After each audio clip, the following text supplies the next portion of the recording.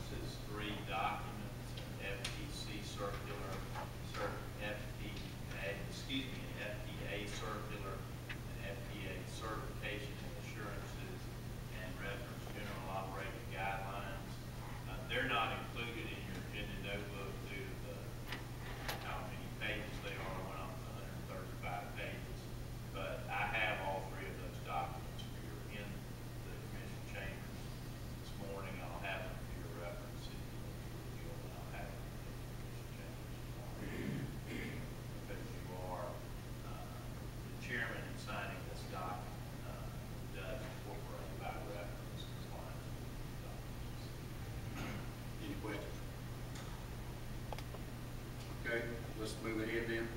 Uh, we'll